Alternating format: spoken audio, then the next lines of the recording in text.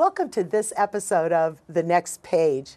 The Next Page is a program that was created and is supported by the Wayne County Literacy Coalition and Birth to Five. These two organizations have come together to support The Next Page as a program that promotes literacy in all of its forms throughout Wayne County. Today we have a special show focusing on literacy resources. We've been talking for the past several months about different kinds of literacy, and today, like in the last, episode, we're going to work to connect you with resources, information, and places that you, the viewers, can go to explore and enact all the different forms of literacy that we've been talking about. Today, we're focusing on the excellent, wonderful, free, accessible resources at the Morrisson Reeves Library. And joining me in this segment is Madeline Helzer Howard. And Madeline, you are the Senior Coordinator of Children's Services at the library. I've probably either given you a promotion or a demotion in your title, but in any case, I know that you are the person at Morrisson Reeves who coordinates children's mm-hmm. programming. Mm-hmm. Welcome back to our program, The Next Page. I hope that everything's been going well for you at the library since you've been with us the last time. Yeah, it has. Thanks, Angie. Beautiful. Tell us what your actual title is, Madeline, and a little bit about what you do every day at the library. Okay, my actual title is Senior Library Assistant. And every day at the library, I come up with all the programs for the kids and I schedule them and I determine what is needed by the community and try to find fun and creative ways to meet that need by programming. That is awesome. Our program focuses and showcases on many speakers and guests who talk about childhood literacy, the importance of that, the connection between reading when you're young and adult literacy later in our lives. So give us an overview of some of the programming offered at Morrisson Reeves, specifically directed at children and youth. Some of the programs that we do are weekly story times. We always have weekly story times, and once a month we have a music garden for the really little ones to connect that music because music stimulates the same part of the brain that language does.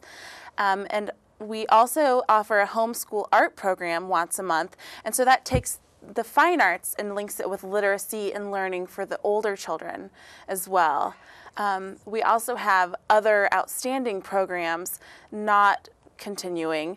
So in March, we're going to have a spring break book bingo. Ooh. And since spring break is two weeks this year, one, one week for the private schools and one week for the public schools, we're extending it. And they'll get a bingo card and they'll have little activities. And once they mark off the activities to make a bingo, they can get a prize. Um, so that'll be really fun. Excellent. What kinds of activities are on that bingo card, Madeline? Uh, things like you know, read a book in the bathtub with no water.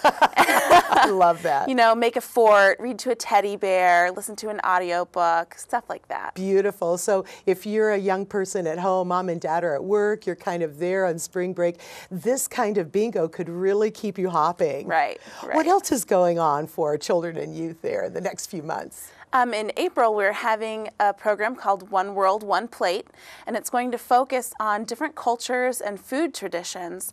And we're inviting families to come and explore all these different cultures and traditions um, and that really enriches their understanding of the world, which helps them with literacy. Literacy is a family affair, right? So if we engage everyone in the literacy endeavor, I just think it's a win-win. Yeah. Now, you mentioned food. That's a real soft spot for me. Talk a little bit more about that, Madeline. Will families come to the library and prepare foods? Will we eat food or will we read about food? we'll have a sample of foods is what we'll have. Um, so at each station, we'll have five major countries. I think Japan, India, uh, and a couple others. I'm not taking Beautiful. the lead on that one, but the families will come in and sample some of the very specific tastes for each culture that they don't really get to experience every day. Nice. So. And then will there be publications, books, other resources maybe that we can dive into to learn more about this culture that the food has enticed us about? Absolutely. There'll be um, there'll be a slideshow about all the cultures, and there will be books on each table for families that they can check out those books and cookbooks that they can take home and explore further. Oh, that's very nice. What's the time frame for this in terms of is it evening, afternoon? Right. It's going to be April 11th, which is a Saturday, and it's going to be 1 to 2:30. Oh, so it'll be right after lunch, so you kind of like snacks after lunch kind of thing. Fabulous. It's, it's on a Saturday. So even families who have both working parents Absolutely. can grab those kids, come down. It sounds like a wonderful afternoon of family fun. So we've got bingo in March. How would I get involved in that bingo? If I'm a young person or a parent listening today, how do I get in the action? So once spring break starts I, on March 20th, we will put a link on the website where you can just print out a bingo card or you can come into the library and get a bingo card to work from. Nice. So if the weather snafus us, which we hope it won't, but we can still participate in the Absolutely. bingo. So we print that out, we do the activities, and then mm-hmm. would we come and cash in at the library mm-hmm. once we make a bingo? Yep, that's how it works. And we get to scream bingo, right? Yes. Maybe not, depending on the volume, you know, of, of what's appropriate, we can scream bingo. Right, right. So tell me a little bit more about then what might be happening later in the spring or early summer for our children. So um, later in the spring, usually we kind of take a break in May to get ready for the summer reading program, which will be June 1st to August 1st this year. So very easy to remember, June 1st to August 1st. And we're partnering with COPE again this um, year for their Go Outside and Play program. And we're also going to do a partnership with JUCO, bringing the reading and playing program out to the kids at JUCO that can't necessarily get into the library. Fantastic. I'm glad that you mentioned that though, because if you're a, an adult and you can ride a bus, the bus comes to the library, Yes. yes? So we could at least get there in that way. And the library has hours on the weekend as well as through the week. Um, Madeline, how would I find out library hours and how to get there and all the specifics? You've excited me today about getting there. So I'm not sure about the bus schedule because I live out in the country, so I drive. Sure. But you can find the hours online on our website. Um, awesome. Yeah, so they're they're 9:30 to 8 Monday through Thursday, 9:30 to 6 on Fridays, so you can get there after work, and then 9:30 to 4 on Saturdays. Beautiful. And are there charges for any of these programs you've described or the food that night? No, all of the programs that I offer through the Children's Department are always free. We want to make them accessible to everybody, so oh, everyone Oh, has the same amazing. opportunities. That is amazing. And if I come down there and I don't have a library card, does that disqualify me from participating in all this? Absolutely not. You could come from New Jersey and still attend our programs and our reading Excellent. programs, even. We don't have any limitations on that. Oh, that's beautiful. If I want to check out books, though, I need to get a library card. How hard is that, and how do I do that? It's pretty easy to get a library card. You have to live in Wayne Township.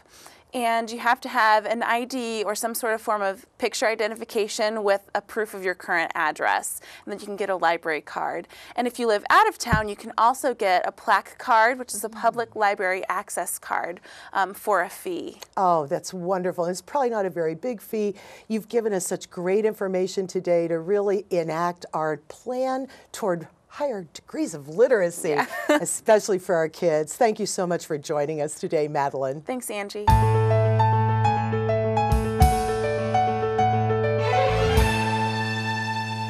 Hello, welcome back to the next page. In this segment, my guest is Alex Car- Sarkeesian. See, Alex, I knew I was going to do that. Let me see if I could get your title correct. Alex is the audio visual manager of stuff, aka the movie guy at Morrisson Reeves Library. Alex, thank you for coming today. Thanks for having me. I'm excited to invite you this afternoon because you're going to talk with us about a- an exciting new program that the library has launched. And it's a web based program, so our viewers who can't get to the library for some reason or another can access this. It's a program called, and they know I love food, so you'll have to help me here. It's called Mango. Mango. But it's not edible. It's not. Alex, tell us about Mango. Mango is an online language learning program, um, sort of similar to Rosetta Stone, only it's free through the library. It's available 24 7 through our website. You just go through our website, you'll sign up with your library card number and an email address, make an account, and then you can learn all sorts of foreign languages, um, whether it be something like French or German, maybe getting ready for a trip to Europe, or um, in my experience, I'm Armenian. And so they actually have Armenian on there as an option, a very small, you know, country, small language. Well, not a small language, but a, a small country with a very big language I'm learning. So I'm learning how to speak Armenian so I can speak to my grandparents and things like that. That's so there's all these different options. They even have fun options like um, pirate. So for Talk Like a Pirate Day, you can learn pirate. I'm hoping they're going to add uh, other fun ones like maybe Klingon or Elvish, but we'll see what happens down the line. Um, I'm trying to control my laughter so I don't fill the microphone with it, but I love that. And you know I want to go arg, so I'm just going to do it and get it out of my system. Pirate? I love that, Yeah. Alex. They they it's a really really fun program. It makes I always had trouble learning language. My brain doesn't quite work that way. I was always much better at math than I was at learning uh, German in high school. so uh, this one it makes it a lot more fun. So it doesn't feel like a chore. There's a lot of uh, fun things incorporated. There's also movies on there too. So you can watch a foreign language movie with subtitles and really sort of get a feel for the. The flow of the language and you can then stop rewind and it'll go through language lessons in the movie to sort of help you understand the conversations they're having That is so cool. So even if I'm a really visual learner or I'm a person who needs to apply that learning right away, it sounds like Mango is for me. Yes. So, okay, I've got to ask the questions that our viewers are thinking about. How easy is this to use, Alex? It's very easy. It's all uh, picture based. It's all very intuitive. Um, once you get the library card number and your email in there, you've got an account. It is super easy to get in there, pick up a program, start re- uh, start learning, uh, switch to another program. It's very very easy. And the other nice thing is there are uh, free apps you can download either on your tablet or your phone, so you can take it with you wherever you are. So if I'm on the plane somewhere and suddenly I was like, "Ah, I need to really brush up on my Armenian. Armenian. Now's the time to do it. Or I know people who they have their headphones in at the gym and they'll just, you know, be learning language while they're working out. Oh, that just sounds fabulous. Okay, so when you say it's easy to use, does that mean I'm going to be pulling down menus, clicking on? Am I typing in text boxes or list? What am I want- doing? You'll be listening and repeating. So you'll you'll click on a particular language and it'll show all the different um, lessons. okay. And once you pick your lesson, it'll start going through and you will just sort of click along or follow along. Each section is timed, so you just move along at your own pace. So it's all self paced.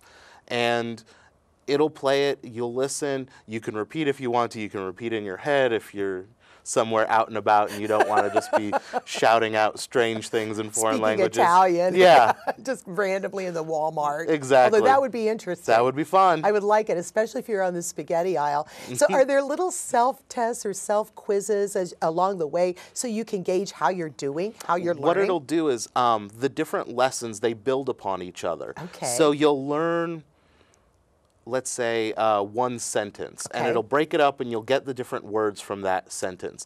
Then once you've got that down, you'll maybe move on to a second lesson, which will have a different one. But what'll happen is it'll start peppering in questions from the first lesson to see how Ah. much you're retaining, and if you're able to Beautiful.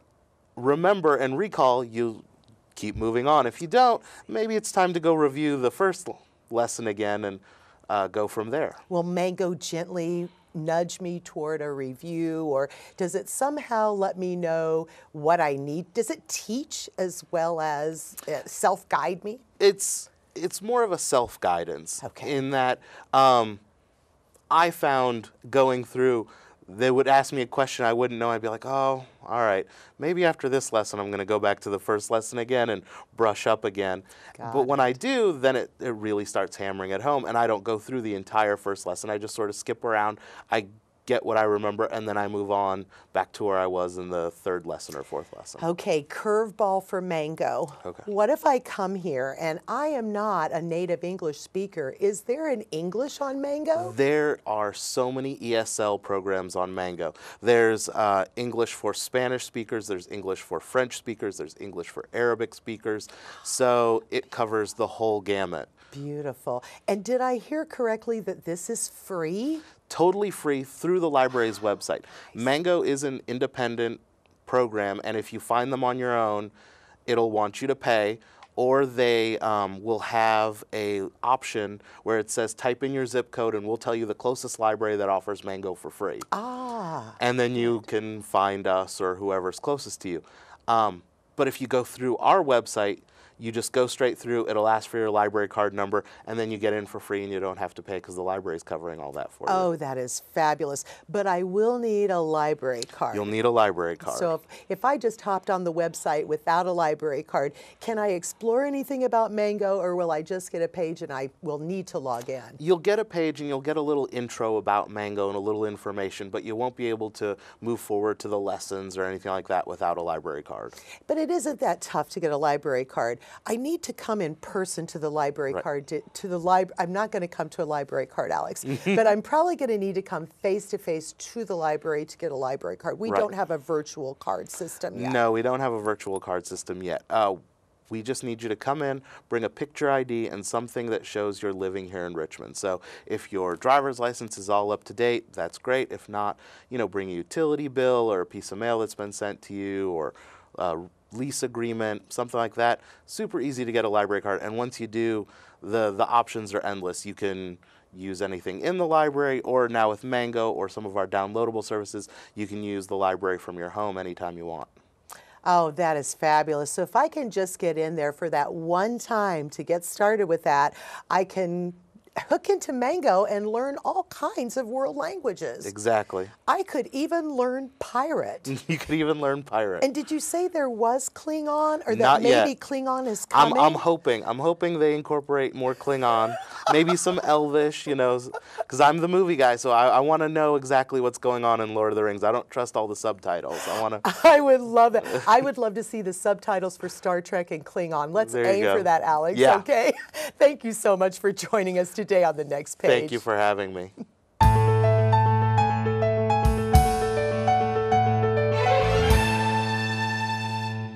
Hello, everyone. I'm Jim Cohen, Executive Director at Birth to Five, and your host for this segment of The Next Page. In the past, we've talked about developmental evaluations uh, that Birth to Five provides um, to our families and how the critical nature of evaluating whether a child is developmentally on track, whether their hearing and their vision um, is, is also on track. Um, as an example, in 2014, Birth to Five conducted somewhere in the neighborhood of 250 different evaluations of that nature. And as a result of those evaluations and screenings, we were able to make 175 referrals to our community partners for additional services and follow up. So tonight on our show, we have Regina Dunkelberger from Excel Outreach Services um, who also is involved in um, doing eval- developmental evaluations. And Regina is going to help us understand a little bit more about the evaluations, what they do, and what we're looking for. Regina, welcome. It's great to have you here. Thank you, Jim. To get started, could you tell us a little bit about your background and a little bit about Excel Outreach Services? Okay, we do the ASQ developmental screenings. We are um, umbrellaed under Achieva Resources, Okay. And we go into a child's home, daycare, um, nursery, grandparents, wherever, caregivers, and perform the ASQs. perform the ASQs. I, I, I, I do want to mention at this point in time that as part of um, a community effort to reduce redundancy of services, that Birth to Five and Excel are going to be working together so that um, we're going to be referring all of our developmental screenings to you. Um, and what that will do is that will free up our home visitors to spend more time working with families directly. Absolutely. So, so tell us a little bit now. How do people get involved with uh, with Excel, and, and tell us what, what that what that screening looks like. Okay, um, the ASQ is a set of questions uh, about a child's development. And we check them in communication, speech, uh, problem solving, fine mold, fine motor, Right. gross motor, and personal social. And um, the way we reach parents is they can call us. We have brochures throughout the community. Um, I set up at health fairs, um, the baby fair at Reid. We also set up at the um, county fair. And um, sometimes doctors will refer parents to call us. And um, so we're more than happy. We, we go and we get the call. We um, pick out the right ASQ because they are in different ages. They go from um, one month up to five and a half years. So we can start screening children at one month old. Yes. Okay, that's important. Okay. Yes, because the earlier that we can catch any possibility of a delay or um, a concern, then the better we can intervene. Sure. And early intervention is key. Absolutely. Okay. So, what does it look like when you go into the home and you actually use this screening with a with a family? How, what does it look like? How does that go? Give us an example of what that might happen. might Okay, happen. I get down on the floor and I'm at the child's eye level and I have a bag full of tricks, basically. I am playing with the child. Um, we're stacking blocks. We are, um, I will ask the child, you know, where's the ball at in a book and see if the child can point to the ball.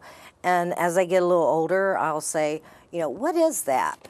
and the child will say ball. And then there's like a picture of a child taking a bath. And so as they're older, what's that child doing? And the, child will tell me um, he's taken a bath. Sometimes they don't have those words. So that could be an indication of, you know, a speech delay. So, so the two things here, it sounds like, are number one is um, it, it's, it's age appropriate, right? Yes. So the questions are supposed to be age appropriate and intellectual development appropriate, and, and that's how Mm-hmm. you kind of determine where a child sits. Okay. So what kinds of things, when you mentioned, you know, when I'm trying to identify fine and gross motor skills, um, what kinds of things exactly do you do um, to, to do that? Okay. And, and, and, Um, and why is that important, too, by the way? Go ahead. Okay. Um, we will have the child unbutton. I've got like a doll that has the buttons, and we want to know if the child can handle buttons. Um, we will have them catch a ball, throw a ball overhand. Um, those are important.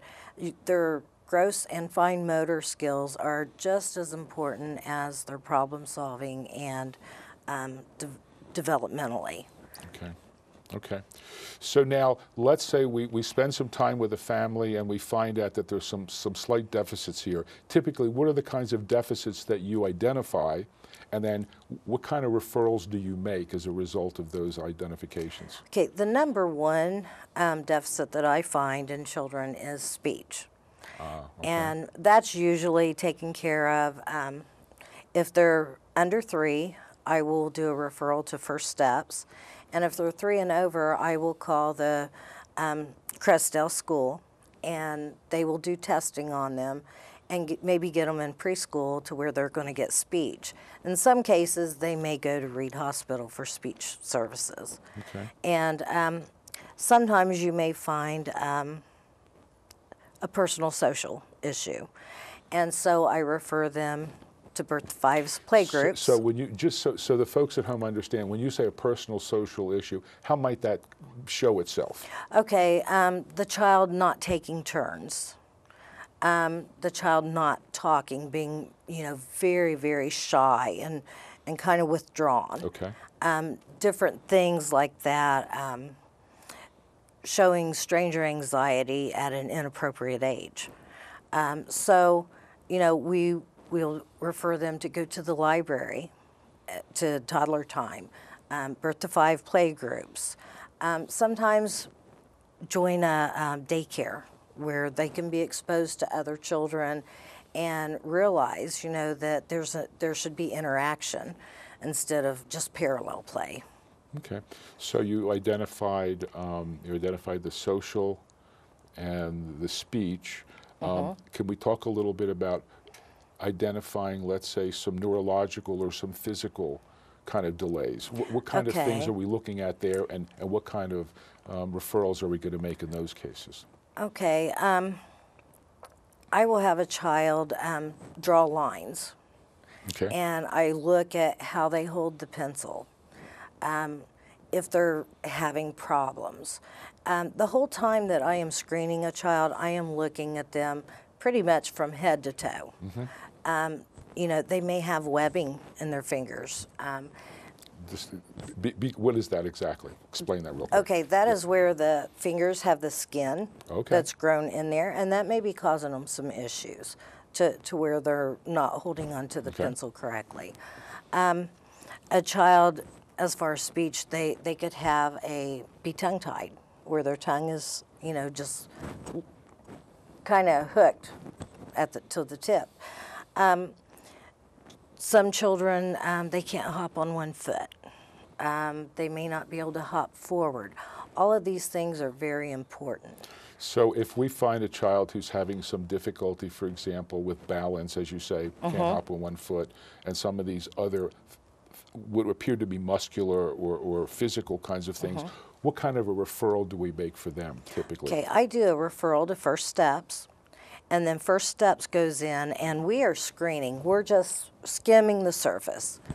First Steps goes in, and they do a deep evaluation. And um, so they may refer the child for um, physical, occupational, um, speech, whatever ther- therapy, developmental therapy that they see.